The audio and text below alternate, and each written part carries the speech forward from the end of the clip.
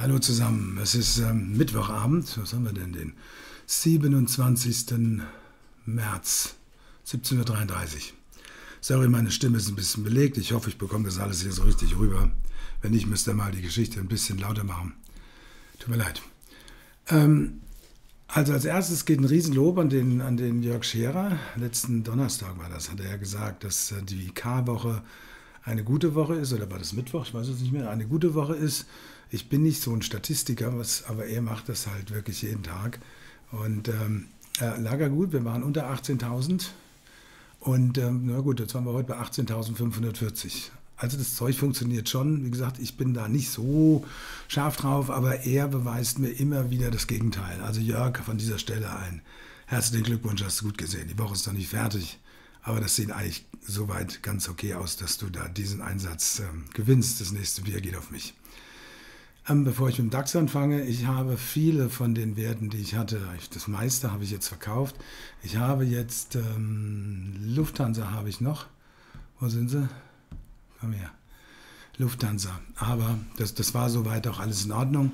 Das hat zumindest die Putz, die ich schmeißen musste, die äh, 18.380er, die ich bei 18.300 irgendwo geschmissen habe, das hat die verschmerzen lassen. Aber die werden bei mir auch gestoppt. Die Lufthansa aus der Tageschart, wenn wir unter das Tief von heute gehen, dann werden die gestoppt. Ansonsten lasse ich die erstmal noch laufen. Jetzt sind sie wenigstens über der 20-Tage-Linie. So weit ist das alles hier noch okay. Es ist kein Verkaufssignal. Und ich habe neu aufgenommen Kering.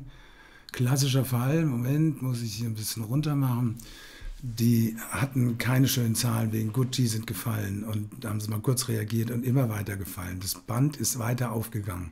Erst durch gestern hat das obere Band, das der Bewegung entgegengesetzt hat, die Richtung geändert und seit gestern, seit 358 oder sowas bin ich long. Das gucke ich mir jetzt noch weiter an, aber ich habe die jetzt auch schon abgesichert. Abgesichert, weil ähm, ich mache jetzt natürlich am Freitag keinen Film, ist ja keine Börse. Das heißt, ich, ich mache heute diesen, aber nächsten Mittwoch wird es schwierig, weil ich bin auf Reisen. Und ähm, das, da komme ich erst am Mittwochabend sehr spät wieder. Das schaffe ich nicht. Da mache ich also nur einen nächste Woche am Freitag. Manche Aktien bewegen sich überhaupt nicht, sowas wie BMW oder auch Daimler. Da ist auf meinem Tinder-Konto mehr los als bei denen hier im Umsatz im Chart. Schon erstaunlich. Aber gehen wir zum DAX selbst. Ähm, nach wie vor phänomenale Rallye. Jede jeder Dip von 20, 30 Punkten wird gekauft.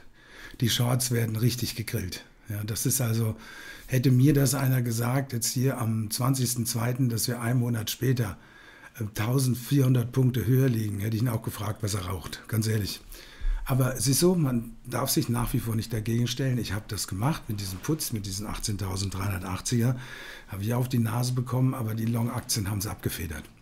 Dennoch bin ich jetzt ähm, eine Position im Putzlong, aber das sind keine K.O.-Scheine. Und zwar will ich euch das hier zeigen. Das ist der VDAX New und zwar seit 1900, das müsste sein 93 ungefähr.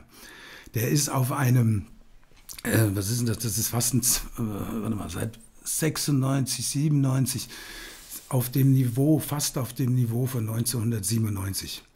Das kann der eine Zeit lang halten. Ja, die Volatilität, die errechnete, ist bei 12,15. Das liegt daran, dass wir hier keine Schwankungen haben in dem Markt, sondern wir haben ein Directional Movement.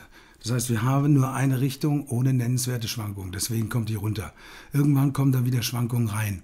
Was ich gekauft habe, ist ein 18.300er normaler Optionsschein Put zu einer Volatilität von 14,57.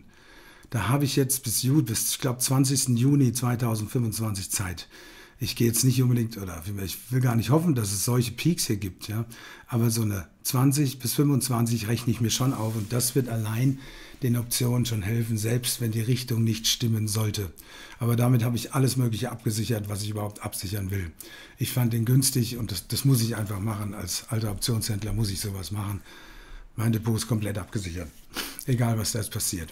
Nochmal, wir liegen also, es ist unfassbar, wie der wirklich einen Tag nach dem anderen hier hochzieht.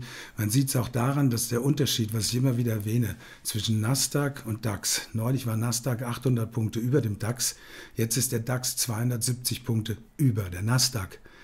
Die, wir koppeln uns hier völlig von den Amis ab. Wir rennen auch den anderen europäischen Märkten weg. Deutschland ist toll, alles ist super, es ist die schönste aller Welten. Äh, ist so gibt natürlich schon den einen oder anderen, der sagt, ja, das ist wegen Quartalsende und Bewertung und so. Ach, weiß ich nicht. Da gebe ich eigentlich auch nicht so viel drauf. Ich glaube nicht mehr, dass das so der Fall ist, aber Gottes Namen, warum nicht? Man muss hier jederzeit mit einer Korrektur rechnen, die durchaus mal 200, 300 Punkte sein kann. Allein mir fehlen die Signale. Ich mache mal das hier raus. Mir fehlen die Signale. Es ist alles hier weiter positiv über den Trendfolger. Moderne und traditionelle Sichtweise. Die Stochastik ist natürlich heftigst überkauft, aber das ist egal. Es gibt kein Verkaufssignal. Ich, ich habe keins. Ich habe von hier vom Chart kein Verkaufssignal. Selbst wenn ich jetzt hier im Chart Unterstützung suchen muss, dann bin ich hier bei 17.600. Das ist diese. Vorher habe ich so nicht, zumindest nicht auf dem Tageschart. Aber Mittwoch schaue ich ja ganz gerne mal in die vier Stunden. Jetzt muss ich auch den hier wieder reinmachen. So. Von den vier Stunden habe ich diesen Bereich hier von unten anfangen. Das ist 18.050. Aber vorher kommt auch noch dieser Bereich, die 18.200.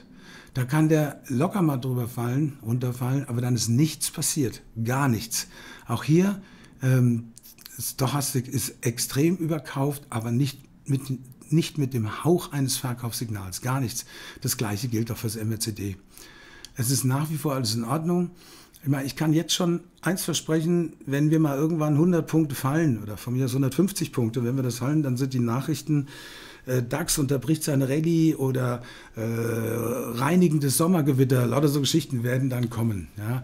Ich bekomme für den Index selbst Verkaufssignale erst, ich glaube, das ist unter 17.500. Nee, und unter dieser 17.600. Hier, ich gehe nochmal auf den Tag. Hier drunter. Ja, nee, das ist, äh, Moment. Wo war er denn? Hier. Erst dann bekomme ich mal sowas wie ein Verkaufssignal, ein bestätigtes. Aber bis dahin ist gar nichts. Wirklich dagegen zu halten, ist hier wenig ratsam. Ich musste auch die Scheine ändern. Da ist nämlich der eine ist genockt worden. Zum einen habe ich jetzt hier nochmal einen höheren Call reingenommen, 17.901. Der ist 600 Punkte weg. Das, das finde ich in Ordnung. Aber ich habe es das erste Mal, auch das hätte ich vor einem halben Jahr nicht gedacht, dass es machen, 19.000er Put drin. Und er hat jetzt schon einen Hebel von 32. Boah, jetzt geht die Stimme ganz weg. Jetzt schon Hebel von 32. Ich habe keine griffigen Verkaufssignale, also gehe ich auch keine Zertifikate irgendwie, also Putz, Long, mache ich nicht. Das hat einfach keinen Sinn. Dazu muss ich noch warten. Die Hosse nährt die Hosse, das ist ein uralter Spruch an der Börse und da muss man einfach schauen, wie weit die geht. Man kann es nicht sagen. Die kann jetzt hier jederzeit aufhören und die kann aber auch noch 200 Punkte weitergetragen werden. Ich versuche die Long-Position in den Aktien zumindest abzusichern, siehe Kering, oder dann auch irgendwann einen Stop reinzulegen im Profit, siehe Lufthansa. Und ansonsten halte ich mich ziemlich raus.